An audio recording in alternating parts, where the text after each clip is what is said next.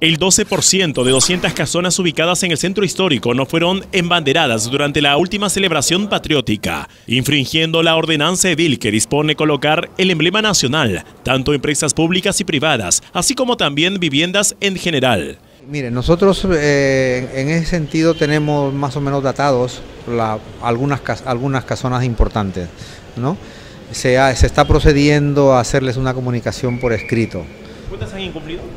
Mire, hay más o menos, son pocas, un 12% más o menos del total de las casonas. El gerente de Patrimonio Monumental de Trujillo, Mario Falero, indicó que se ha iniciado un proceso administrativo sancionador para multar a los responsables.